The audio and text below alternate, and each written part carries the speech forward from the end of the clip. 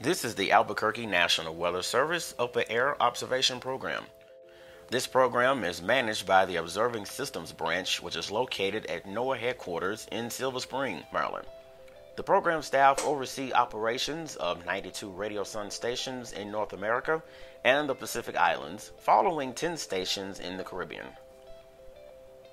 Radiosondes are released twice a day, once in the morning and once in the afternoon.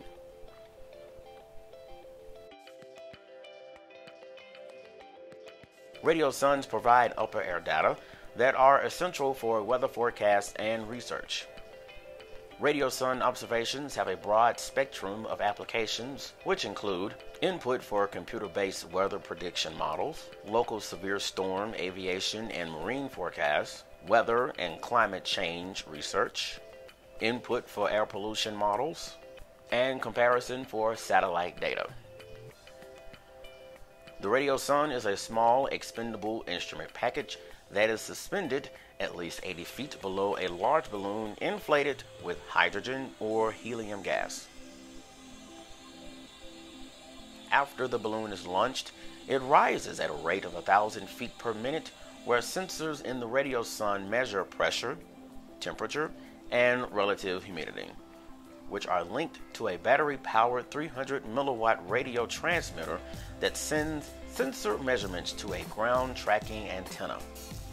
Also, wind speed and direction aloft are obtained by tracking the radiosonde's position using GPS. Radio signals received by the tracking antenna are converted to meteorological values, which are selected by a computer, put into a special code form, and transmitted to data users.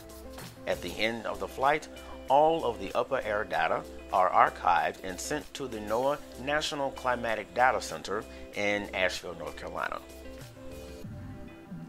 A typical weather balloon sounding can last at least two hours, where it can reach an estimated height of 115,000 feet and drift more than 180 miles from the release point.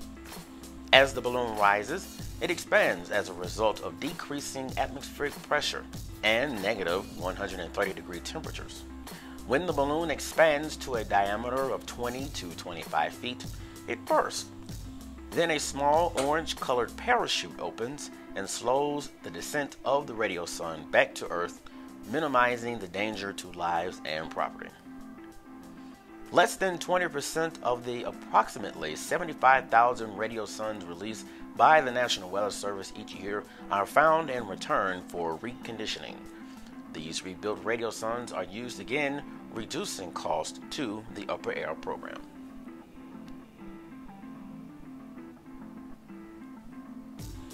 Since the early 20th century, the technological advancements of weather balloon launches have gradually and efficiently transformed the way meteorologists collect and analyze upper air data to further enhance forecasting.